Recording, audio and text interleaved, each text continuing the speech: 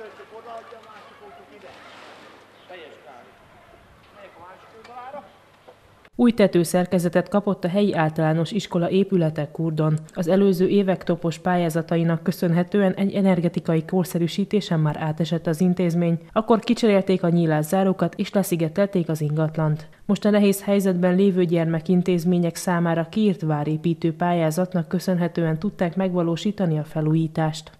Ez egy betoncserépgyártó, annyit el lehet árulni, és a, a tetőfedésnek, az alapcserepének szinte teljes részét 1 millió 300 ezer forint értékben ajánlották fel.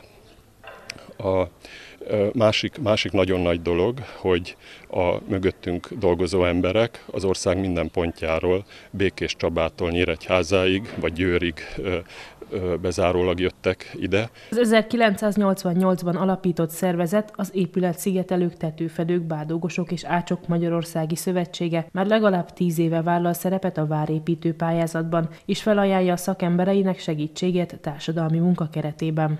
Hát az elmúlt öt évet tekintve egyre inkább összekovácsolódik ez a csapat. Tehát Nyíregyházától ö, Pécsig mindenhonnan érkeznek emberek, akár a Dunakanyarban, akár ugye most éppen Kurdon van a projekt, tehát mindenki a Szélozsa négy irányából érkezik, szeretnek így együtt ö, társadalmi munkába dolgozni, és ez csapatépítése is nagyon jó. Kurtközség önkormányzata a következő fontos feladatként az orvosi intézmények felújítását tűzte ki.